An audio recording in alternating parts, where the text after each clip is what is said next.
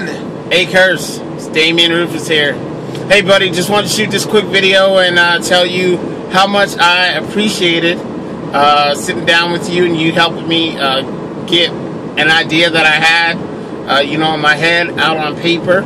And uh, with your continued support and helping me uh, bring my realization or, or my vision to life.